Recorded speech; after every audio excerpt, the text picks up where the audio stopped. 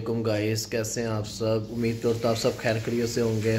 आज हम जा रहे हैं तुर्की की सबसे मशहूर डिश जो कि कुनाफा है, जो कि इस्तांबुल, तुर्की में सबसे ज़्यादा खाई जाती है। इनका सबसे मशहूर कुनाफा उसका नाम है। तो आप देख सकते हैं, मेरे पापा बैठे हुए हैं और अब होटल का काम ख़त्म हो चुका है। और अब हम जा रहे हैं, बाकी इंशाल्लाह आपसे उधर जाके मिलते हैं। इनकी सबसे ज़्यादा फ़ेमस और मशहूर डिश है कुनाफा, उसे कहा जाता है। इनकी ज़ुबान में तो वो देसी घी में तैयार किया जाता है। अब हम बस निकल होटल से, उधर जाके आपसे मिलते हैं। इस टाइम हम कुनाफे में पहुँच चुके हैं और बहुत ज़्यादा रश है इधर। बहुत ही ज़्यादा। हमने ऑर्डर दे दिया है, ये सामने रेडी हो रहा है कुनाफा। ये चीज़ साथ, ये चीज़ें साथ वैसे ही फ्री देती है, इनके पैसे कुछ भी नहीं है। पैसे उन्होंने जो ऑर्डर देना उसी के लेने हैं।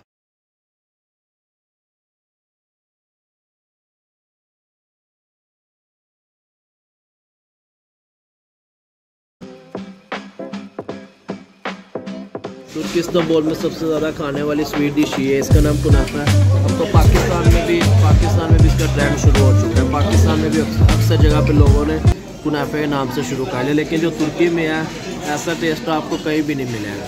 इनकी सिटिंग वगैरह का भी काफ़ी अच्छा इंतज़ाम है। इनके भी अगर आप तुर्की में आते हैं तो अगर आप कुनाफा खाना चाहते हैं तो इनका सबसे ज़्यादा अच्छा टेस्ट है। ऑर्डर हमारा आ चुका है। हमने आइसक्रीम वाला गया इसमें तीन चार तरह के होते हैं। ये देसी घी में तैयार किया गया है।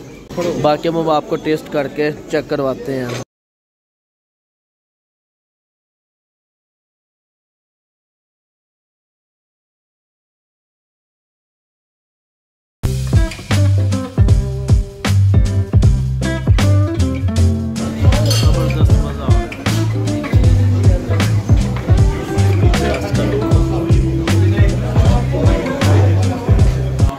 पापा बैठे हुए ये भी खा रहे हैं। आ जाए आप भी आए जनाब आपको टेस्ट कराते हैं।